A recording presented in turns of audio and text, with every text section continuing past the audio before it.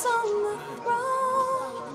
the one who has freed us from sin by his blood.